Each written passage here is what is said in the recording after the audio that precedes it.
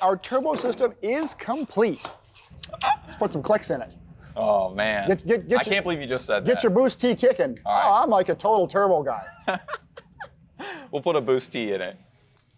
Okay, here is where we're going to be hero or zero because we've uh, added a little bit of uh, boost to it as far as click wise. Not sure how much it will be. It's probably going to be a, a pound or two, I would think.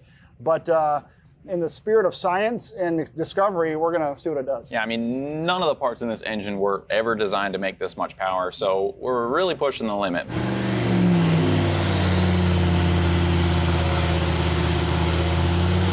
Ooh, we're load in. Yeah. there she goes. It, it broke 700 pound feet. oh, What the hell? Oh my and god. idles at. Whoa. Oh my gosh. Nice oh, job. Oh, heck yeah. Great success.